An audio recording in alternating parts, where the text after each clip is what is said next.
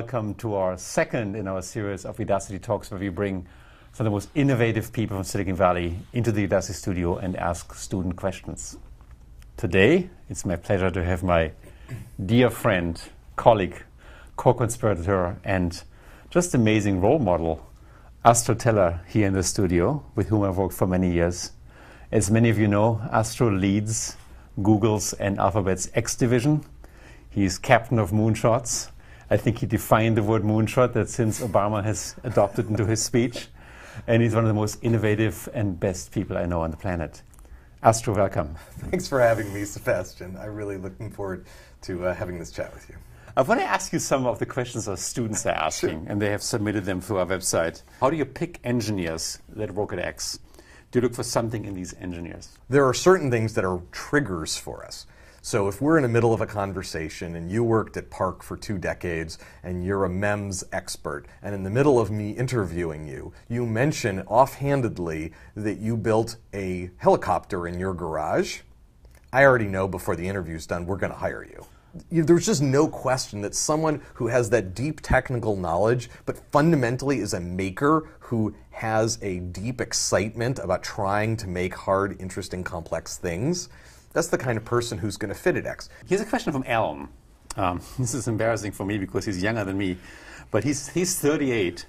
He's been out of work for four years. He had an unspectacular career before that. How do the millions of people like me, like Alan, get a say in the future and help to bring it about?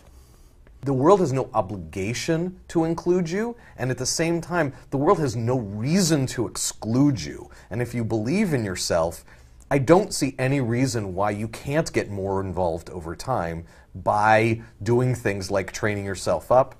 You know, if I were starting over from the beginning right now, I would find the most exciting place I could find, and I would offer to do anything there. I actually think it's healthy to start over. I encourage people to start a new career at least once a decade part of the power of entrepreneurship is the naivete that it comes from not knowing all of the rules in your industry. Let me run some technologies by you, and you just give me a yes yeah, or sure. no for the next 20 years. Living twice as long.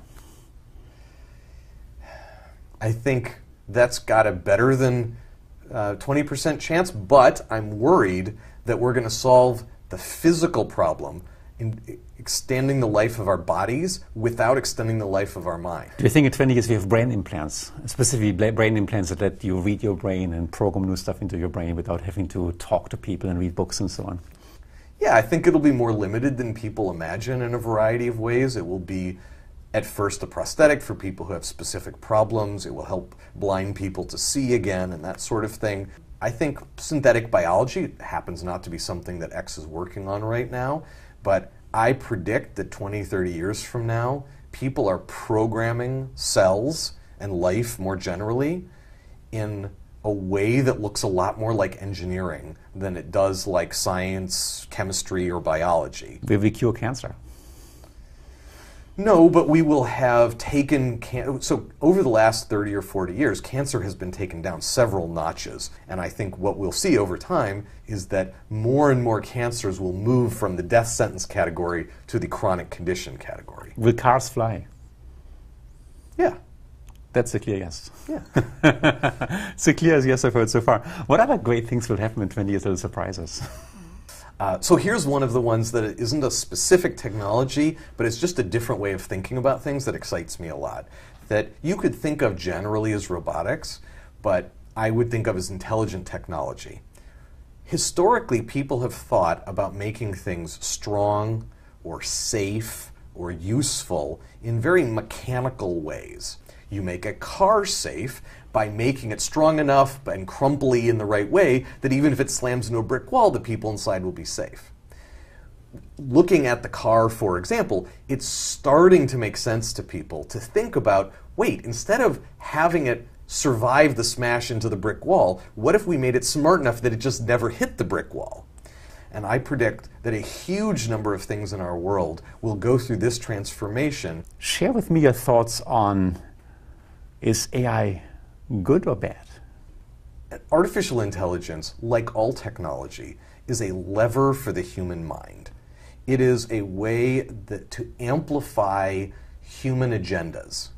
And I don't think artificial intelligence has shown any evidence of being different than guns or hydrogen bombs or electricity or the internet in having this fundamental characteristic that they can be very positive or very negative. And is it logically possible that artificial intelligence could end up being a net negative for humanity? It's possible, but I don't see any evidence that it's at all likely to happen, especially when humanity has very serious problems like global warming, and artificial intelligence stands a high chance to make the world a better place. The fear that robots will somehow enslave us because they want everything for themselves probably doesn't make sense for me because that's a classic human thing that we're doing, which is projection. I mean, frankly, I think we should be more worried that artificial intelligence will grow up to be smart enough that it will notice that the things in this world who have it really good are the dogs and the cats. They get to lie around all day, do nothing, and take care of us. If you were artificial intelligence and you were so smart you could have anything, would you really want to do all the work? Or would you basically pawn it off on us and lie around the house all day? I mean, honestly, it, but why is no one worrying about that? And the answer is because it's not fun to worry about that. So many students want to be like you.